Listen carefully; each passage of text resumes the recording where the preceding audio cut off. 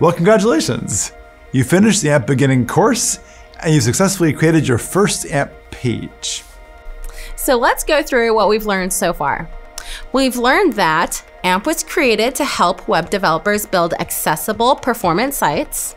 Every AMP site starts with an AMP boilerplate. The AMP validator catches and helps fix errors. The AMP cache helps optimize and serve pages faster.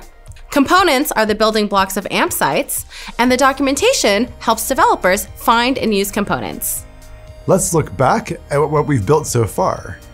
You've created a basic AMP site with no validation errors. You've added images, a carousel, a video, and social sharing buttons to your site.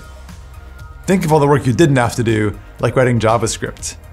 Instead of spending time tracking which side your image carousel was on, or figuring out how to wrap your carousel around from the last slide to the first slide, you were able to focus on building the type of site that was most effective for your burgeoning cheese bike business. In our next course, we'll learn how to respond to user input, like clicks or key presses, how to invoke actions on an AMP component to change its state or appearance, and how to combine multiple AMP components to make more elaborate user interfaces.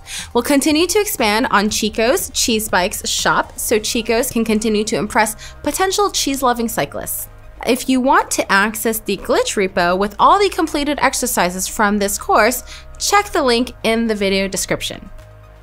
Thanks again for joining us, and we hope to see you again in the next course. See you next time.